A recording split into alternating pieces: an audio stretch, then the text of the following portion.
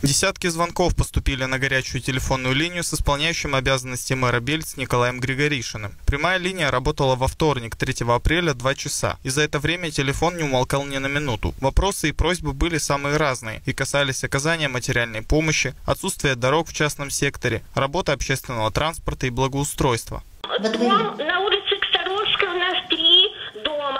В этих домах стоят. И там на, и лю- фотографии людей и все такое. И даже вот эти цветы, везде висят венки. Это ужас какой-то. Где эконом, знаете? Да. Да, да, да. Да, но я не понимаю сейчас, какие воздействия могут на них, если это в частном секторе у них дома. Вот и вот именно, понимаете, я вот почему и звоню вам, не хочу писать и это самое. Это ужас какой-то, нам страшно. Просто я инвалид, и я онко, у меня 6 операций, и у меня постоянно э, перед глазами вот эти памятники, вот эти надгробные. Жительница улицы Гечевская попросила привести в порядок дорогу, которую ни разу со времен Советского Союза не ремонтировали. Оказалось, Григоришин не понаслышке знает об этой проблеме. Эта улица до того запущена, и, и такая грязь. Невозможно пройти, проехать ни на подводе, ни на машине, а пешком, если идут люди, держатся за заборы, все заборы поломают. Вы знаете, я знаю, вы знаете, я знаю, потому что там мой дедушка покойно жил по улице Геческой.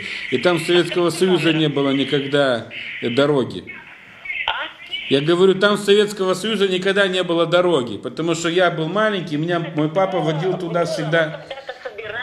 К дедушке. Верите мне, что я знаю, проблема Бельс в дорогах, я уже говорил неоднократно, что это огромная проблема. Если бы 30 лет эти дороги по одной-две дороги в год делали бы предыдущие власти, то я думаю, в Бельцах были бы сегодня дороги. Поступил звонок и о состоянии новой техники, которую купили для муниципального предприятия ДРСУ. Ее приобрел бывший директор Сергей Пчела. Бельчанин поинтересовался, на ходу ли спецмашины. Добрый день. Я могу задать вопрос? Да, конечно. Скажите, пожалуйста, вот э, по телевизору Бельскому объявляли, что вот э, пчела закупил технику. Да. А она как-то будет использоваться у нас или она уже никудышняя?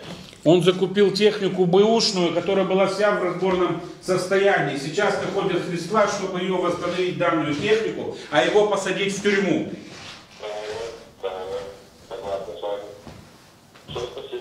Да, до свидания.